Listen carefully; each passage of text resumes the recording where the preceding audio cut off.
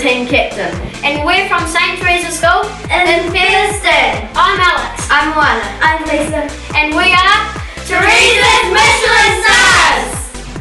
Today we're making marinated kebabs. with coconut rice and a And Thai dress salad.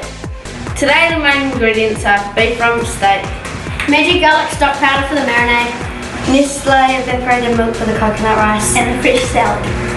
Team, are we ready? Yeah. Let's get cooking.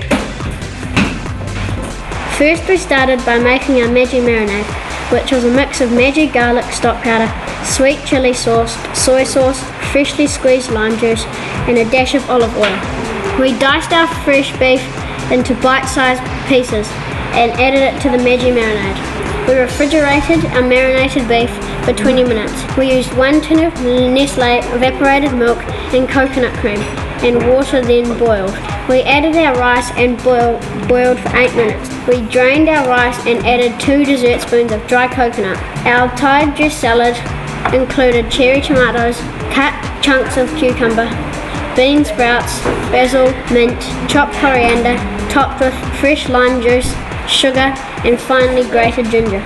We heated our skewers in hot water, placed our marinated beef onto skewers, and pan fried until brown on each side. Then baked in preheated oven for 8 minutes. Served finely on a dish, coconut rice, Thai salad, and lamb kebabs.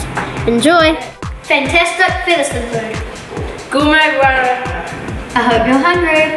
10 out of 10.